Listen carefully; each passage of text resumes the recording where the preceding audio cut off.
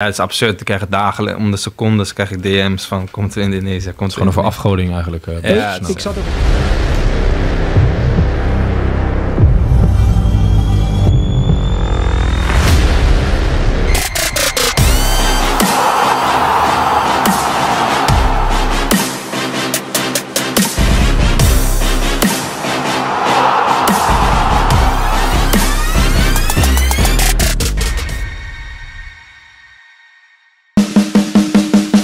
Ula Romeni akui diskusi dengan Ragnar Oratmangoen atas tawaran naturalisasi timnas Indonesia. Pemain FC Utrecht, Ula Romeni mengkonfirmasi tawaran naturalisasi timnas Indonesia yang didapatkannya.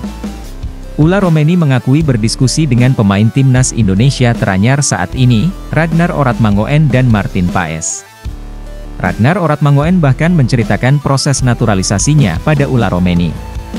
Ia saya sangat dekat dengan Ragnar Oratmangoen, juga Martin Paes, saya bermain bersamanya di NEC, kata Ula Romeni dikutip dari kanal YouTube Voetbal Primeur.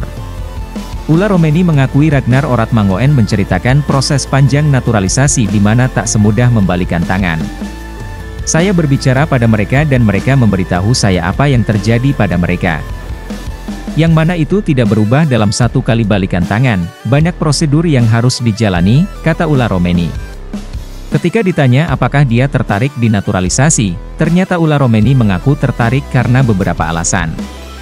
Bagi saya ini sangat menarik dan sangat bagus menurut saya, kamu bisa jadi contoh dan bisa menginspirasi orang-orang, dan dengan jumlah masyarakat yang banyak dan jadi kesempatan bagus buat saya, kata Ula Romeni. Namun ketika ditanya apakah dia akan dinaturalisasi dalam waktu dekat, ternyata pemain bernomor punggung 77 ini punya jawaban sendiri.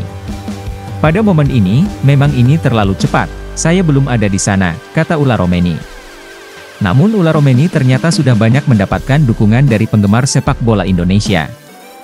Sudah banyak yang antusias dengan saya, dan belum ada apa-apa, selalu datang ke pesan dalam Instagram saya, Kometu Indonesia, kata Ula Romeni.